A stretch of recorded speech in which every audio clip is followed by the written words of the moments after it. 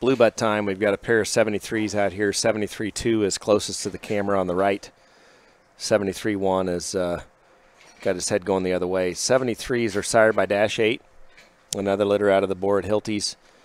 The mother of the 73s is a first litter Wags, and she is impressive. Uh, she's dark blue, um, not quite wagey blue, but she's darker blued. Um, neat pair of pigs. Uh, this 70, 73 litter is a good litter. I do want to point out as we get into these blue ones that uh, fit the state fair season. I know there's light cross divisions at, at several state fairs now. In Missouri, in particular, we've got a white cross division or light cross division now in our circuit and at our state fair, and these two will qualify uh, for that. Um, 73-1 is right there on the right. 73-2 is on the left. Again, these are Dash 8 Wags. And again, Dash 8's the board Hilties, but a really neat pair of blue ones, 73-1 and 2.